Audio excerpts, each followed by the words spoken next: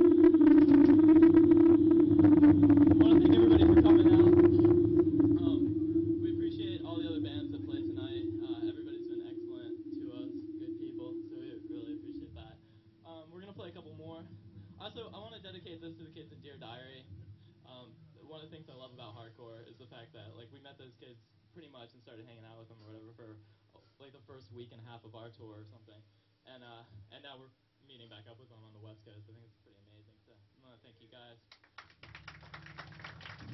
So uh,